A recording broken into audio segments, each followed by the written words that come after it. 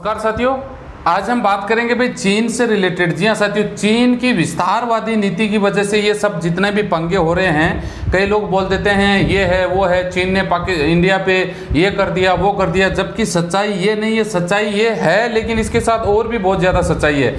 China India के साथ नहीं, मैं बता दूँ, चाइना का 27 देशों के साथ झगड़ा चल रहा है। जी हाँ साथियों 27 देशों के साथ विद प्रूफ हम बात करेंगे। आगे बढ़ने से पहले चाहूँगा वीडियो अच्छा लगे तो लाइक, शेयर करें, चैनल सब्सक्राइब करके बेल आइकन दबा के रखें, ताकि विदेश से रिलेटेड से इन्फॉर्मेशन आपको यहाँ पे मिलती रहे। तो चलिए शुरुआत करते हैं। साथियों, सबसे बड़ी एक माइनस गलत पॉइंट जिसको हम बोल सकते हैं कि उनका लक्ष्य है विस्तारवादी होना। जी हाँ साथियों, और वो विस्तार अपने देश का करना चाहता है। आज से 500 साल पहले जो माहौल चल रहा था कि एक राजा दूसरे पे आक्रमण कर देता और वो अपने में मिला लेता और अपना राज्य बढ़ाता चलता तो उसकी नीति के हिसाब से ये जो ये इनका प्रगंडा है वो चलने, चलाने की कोशिश कर रहे हैं। लेकिन आज के टाइम में संभव नहीं है। ये तय बात है। लेकिन फिर भी बता दूँ, चाइना का 27 देशों से सीमा विवाद चल रहा है। किसी न किसी बहाने से अब उसने एक सिस्टम अपना लिया। उनको पता लग गया कि किसी पे आक्रमण करके कब्जा करना मुश्किल ही नहीं, नामुमकिन हो चुका है। तो वो क्या करते हैं? छोटे देशों को कर्ज दे देते हैं। आपने देखा होगा, अपने पड़ोस में देखा होगा, किसी को कर्ज दे देना, उसकी प्रॉपर्टी फिर ले लेना, क्योंकि कर्ज अगर टाइम पे नहीं चुका पाएगा तो प्रॉपर्टी स्वाभाविक है कि वो गिरवी लेंगे तो फिर प्रॉपर्टी के माध्यम से वो कब्जा कर लेते हैं उस पर तो 27 देशों से विवाद चल रहा है और 41 लेख वर्ग किलोमीटर पे चाइना ने कब्जा कर रखा है। जी हाँ साथियों, कम से कम छह सात कंट्रियों की 41 लाख किलोमीटर पे चाइना ने अपना कब्जा कर रखा है, जिसमें मैं आपको बताऊँगा। आगे आप देख सकते हैं साथियों, मकाऊ, ताइवान समेत छह देशों पे कब्जा, यह हक जताता है चीन। चीन छह देशों में पूर्वी तुर्किस्तान, इस पर वह सिंह जियांग प्रांत बताता है। Tibet, Inner Mongolia, Taiwan, Hong Kong, Macau पर कब्जा कर चुका है।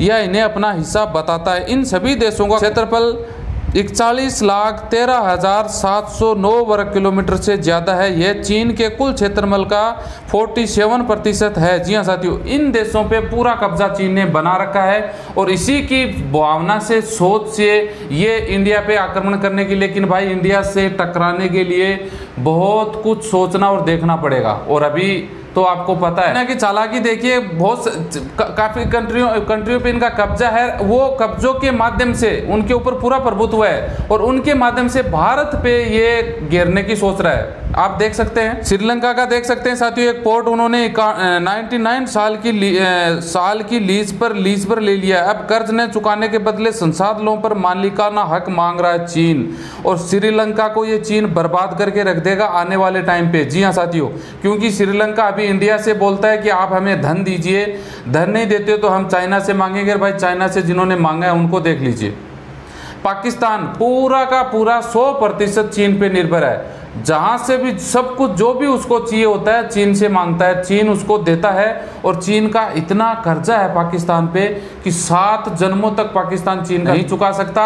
और अब मैं बता दूँ चीन के पाँच लाख लोग पाकिस्तान में बसने की तैयारी कर रहे हैं। जी हाँ सरकार के उनका कॉम्प्रोमाइज हो चुका है, समझौता हो चुका है, चाइना के पाँच लोग लोग पाकिस्तान में बसेंगे। आगे देख सकते हैं साथियों चीन का, जापान, मलेशिया फिलीपीन समेत आधा दर्जन देशों से विवाद है। आसियान के सभी देश भी चीन के खिलाफ। यानी चीन की ये विस्तारवादी नीति को, इसको इतनी महँगी पड़ेगी आने वाले टाइम पे कि जो वर्ल्ड के बड़े बड़े देश हैं, अमेरिका, जापान और जो ऑस्ट्रेलिया सब इंडिया के साथ है। साथियों, ये जानकारी आपको चाइना से रिलेटेड मैंने, मेरे पास थी, मैंने आप लोगों के साथ शेयर कर दी। वीडियो अच्छा लगे तो लाइक करें शेयर करें चैनल सब्सक्राइब करके बेल आइकन दबा के रखें, ताकि विदेश से रिलेटेड से इन्फॉर्मेशन आपको मिलती रहे। जय हिंद, वंदे